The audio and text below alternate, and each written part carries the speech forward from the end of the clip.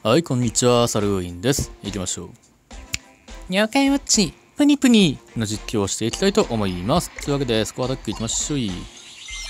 磯増くんが帰ってきたんでね、磯増族がね。さて、とりあえず、とりあえず、なんだね。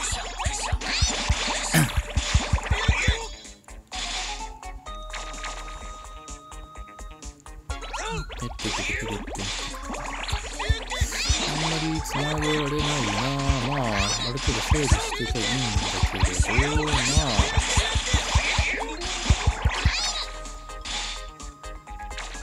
結局タイム玉とかはねパリン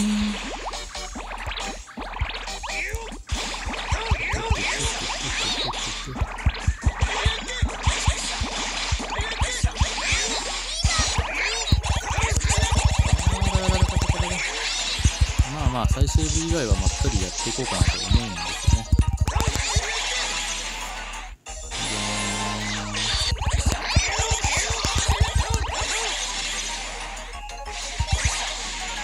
むしゃくしゃアタック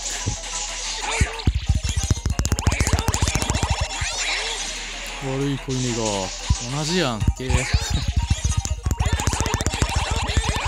シュあまだあ全然時間あるやんもう見たらフィニッシュじゃねえ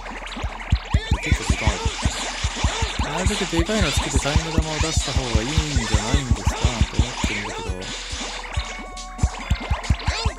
あーまあいいでしょうはい。あーでも結構いった。ね74万だって。いくね。いきますね。いきますね。なかなかですね。これはアイテム使えば結構いくんじゃないか。期待。しかも結構強いとこね。まだ最強パーティーじゃないからねこれ。